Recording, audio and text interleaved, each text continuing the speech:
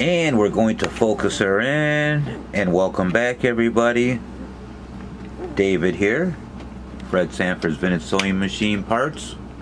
Back with my sister Carmen, and we're here to demonstrate the Singer Slant Shank Button Foot 161168. This is a genuine vintage Singer part. And I'm going to let Carmen take over. Okay, there she is. You put this on just like you would any other foot. Just wrap around the shank there and turn your thumb screw. This one's nice. I like the wide platform so it can hold down buttons. What you want to do is put your zigzag stitch on, find your buttonhole where you want to sew,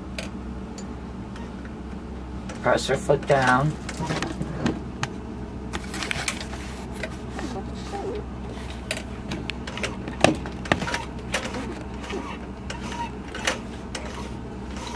you want to kind of manipulate it yourself. But this one you can get right in to those buttonholes. A couple more times and she should be secure.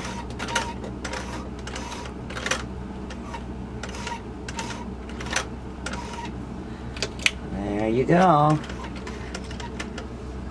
These scissors are really nice. Which ones are you using? Oh, the, the Drag, drag, one.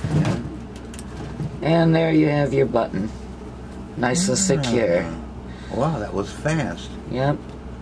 A lot faster than doing How's it by the, hand. Let me see what the back looks like. Wow, You nice. can go over it quite a few times, but right it holds it nice and snug. That's a four-hole button. Okay. Same uh, with the two-hole button. You would do the same thing, but just go back and forth. Right on. So, All right, there you have it. Thanks for watching. We're going to come back with a couple more demonstration, including some demonstration of a couple of the cams.